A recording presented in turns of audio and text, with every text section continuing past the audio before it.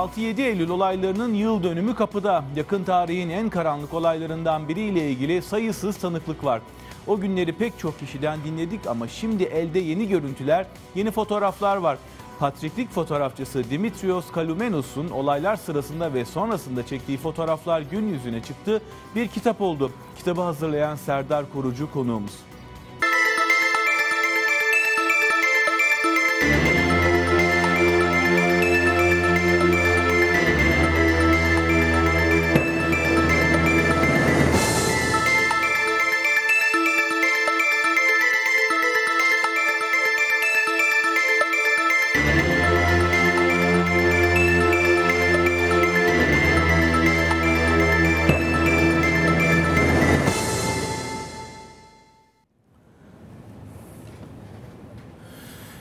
Türkiye'nin utanç sayfalarından birini aralayacağız birazdan. Binlerce Rum'un vatanını terk etmesiyle sonlanan, ardında tüyler ürperten fotoğraf kareleri bırakan 6-7 Eylül olaylarını konuşacağız. Bu sene olayların 60. yıl dönümü ve o günlere ait karelerden oluşan yeni bir kitap var raflarda. Fotoğrafları çeken patriklik fotoğrafçısı Dimitrios Kalumenos filmleri binbir zahmetle saklamış. Hatta bu yüzden ajanlıkla suçlanarak Türkiye'den sınır dışı edilmiş.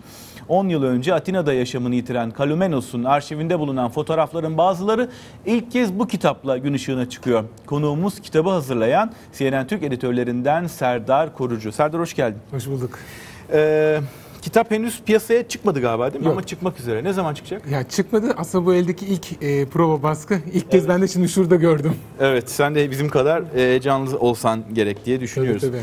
Peki biraz bu kitabın hikayesini anlatır mısın? Herhalde önce e, Kalumenos'un hikayesinden başlamak gerekiyor. Doğru. Yani e, aslında bu kitabın hikayesi 3 ay önce başladı. 3 ay önce biz e, Niko Manginas'la konuşurken e, gazeteci ve fotoğrafçı. Onunla konuşurken 1955'e ait eski fotoğraflara nasıl ulaşırız, başka fotoğraflara nasıl ulaşırız diye düşünüyorduk. E, onun aslında Kalumenos'un ailesiyle olan bir yakınlığı var. E, 2005'te vefatından önce onunla son röportajı yapmış olmasının bir e, özelliği. O dedi ki ben bu fotoğraflara ulaşırım ve bir foto albüm yapabiliriz.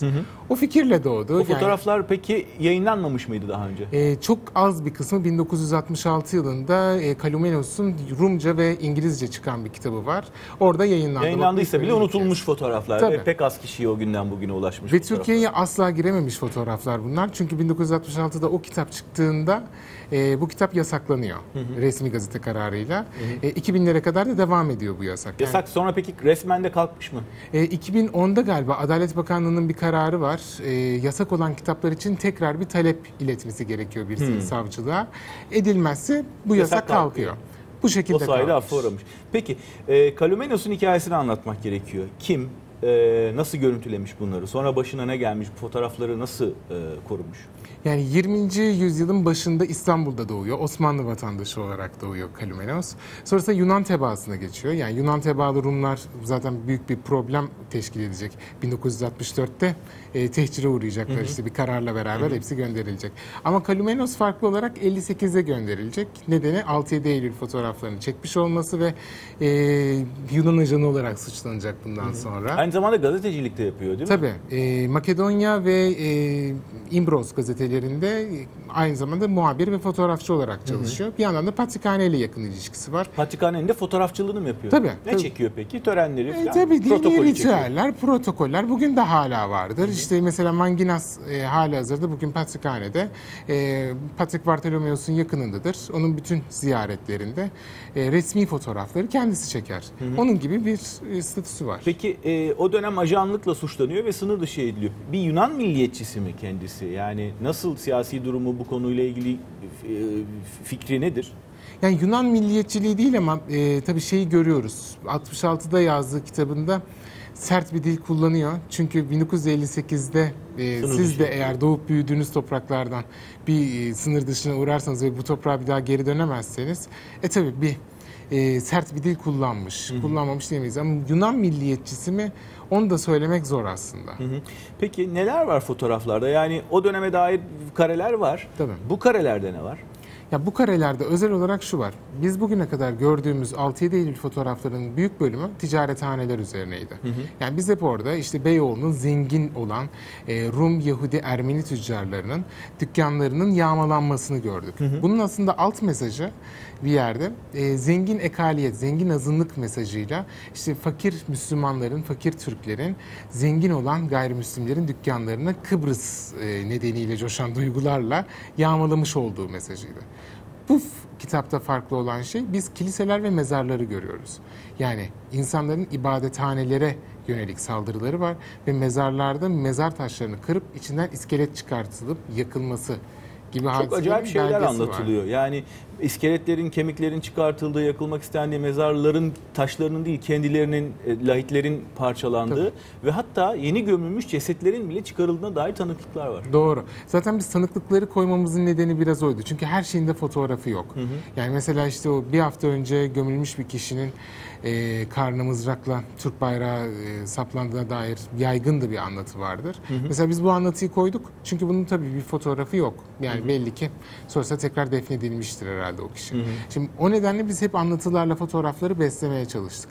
Burada bir de e, şunu yapmaya çalıştık. Kiliselerin ve mezarların yerlerini çok fazla yazmadık. Ya bunu biraz bilinçli yaptık. Neden? Çünkü mesela e, bir cenaze var. Aslında Patrick Joachim'in, 3. Joachim'in e, yağmalanan mezarlardan biri. Biz sadece onun iskeletini, ce- cenazeyi göstermek istedik. Yani çünkü e, ünvanlar bir yerden sonra boş. Yani hepimizden aslında geriye bir iskelet kalıyor. Yani o bir anne babanın da cenazesi olabilir ki çünkü onlar da yağmalandı. Bir Patrick de olabilirsiniz.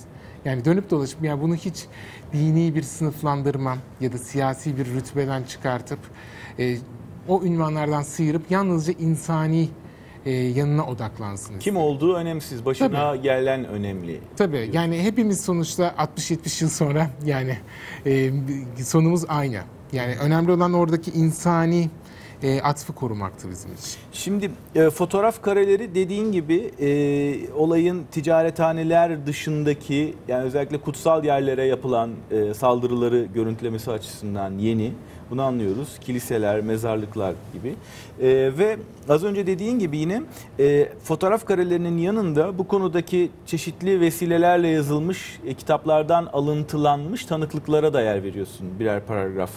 E, ve pek çok böyle şey var. Yani e, mesela Yassıada zabıtları da var. E, 6-7 Eylül olayları kitapları da var. E, röportajlar var. E, pek çok aslında yazılı kaynak var e, bugünlere dair. Şimdi e, bir tanesi de şey e, meclis zabıtları.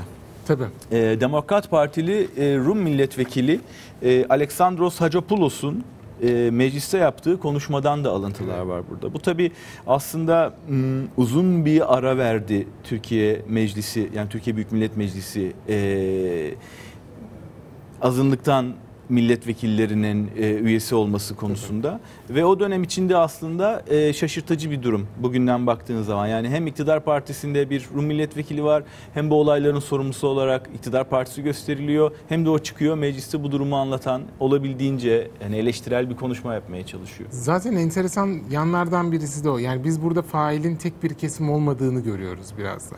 Çünkü e, konuşmasında diyor ki Ulus gazetesi yazıyor ki e, kiliseleri papazlar yakmıştır diye. Arkadaşlar böyle şeyler yazılmasın. Yani medya bunu bu kadar çarpıtmasın diye sistem ediyor. Yani Ulus gazetesi sonuçta Demokrat Parti'ye yakın olduğunu söyleyemeyeceğiz Evet. biz bir gazete. Evet. Yani dönemin CHP'sine CHP'si, tabii ki yani yakın bir gazete. Yani şimdi biz burada aslında ortak bir ideolojinin ortak şekilde bir e, Rumları hedef alması, azınlıkları hedef almasını görüyoruz. Yani olay sadece bir Demokrat Parti sorunu mudur?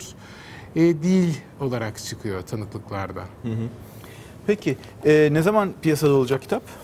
11 Eylül'de raflarda olacak ama ön satışı başladı. Hani en azından şansımız o. Yani birazcık meraklı olanlar önden e, görme bakma biraz e, şansı olacak. Peki ulaşma şansı olacak. Kalumenos'un biraz da akıbetinden bahsedelim. Yani bu fotoğrafları bize bıraktığını biliyoruz. Sonra e, 58'de göç ediyor. Sonra ne yapıyor? 58'de göç ettikten sonra bana Atina'daki hayatı e, İstanbul'daki kadar hareketli geçmiyor tabii. Yani orada yine fotoğrafçılığa devam ediyor. Aslında Yunan fotoğrafçılığı açısından çok önemli bir isim Kalumenos. E, ama e, çok kırgın ölüyor. Çok yani 2005'te öldüğünde işte İstanbul'a olan özlemiyle ölüyor. Hiç de gelemiyor aslında. herhalde? Gelemiyor Ee, ve bu şekilde veda ediyor hayatına. Yani yine aslında bu kitapta e, bence yeni olan şeylerden biri de e, yine Kalumenos'un tabi Patrikhane ile yakınlığını alayım. Mesela Patrick'in yalnızlığını ortaya çıkartan fotoğraflar var. İşte yıkık kilisenin içinde Patrick'in e, durduğu bir fotoğraf var. Yani o sahneleri görüntüleyebilmek tabi sıradan bir fotoğrafçı için belki o dönemde imkansız. E, onun avantajını biraz kullanıyor e, Kalumenos. Bu sayede bize çok zengin bir arşiv sağlıyor. Evet. Peki e, e, resmi görev de üstleniyor galiba değil mi ölmeden önce? Yani bir dairenin başkanlığını yapıyor. E, Evet yapıyor. Uluslararası ilişkilerle ilgili bir şey yapıyor. Yani bu misyonu biraz da sürdürüyor anladığım kadarıyla. Sürdürüyor. Neydi? Devlet Bakanlığı Tabii. basın ofisinde Türkiye masası Doğru. açılıyor ve 20 yıl boyunca masanın başkanlığını sürdürüyor. Doğru, doğru sürdürüyor. Ee, ama zaten yani anladığımız kadarıyla isteklerinden birisi zaten bu fotoğrafların daha geniş kesimlere yayılması. Çünkü kitabının, kendi kitabının ikinci baskısı 2001 yılında oluyor. Yani yeniden fotoğrafları aslında hatırlatmak istiyor. Ama problem şu ki biz bu fotoğrafları hiç Türkiye basınında görmedik. Yani Türkiye'ye de hiç girmedi bu fotoğraflar. Bu kitap da konuşulmadı Türkiye'de. Belki bu vesileyle biz hani yeni bir pencere açabiliriz. Umudunu Evet. taşıyoruz. Serdar Korucu çok teşekkürler. İstos yayınlarından yayınlanacak kitap 11 Eylül'de yani bir hafta kadar sonra piyasada olacak ama internet üzerinden e, kitabın e, ön tanıtımını yapan yere ulaşabilirsiniz. Dimitrios Kalumenos'un 6-7 e, objektifinden 6-7 Eylül 1955 kitabın adı bu. Çok sağ ol Serdar. Çok teşekkürler.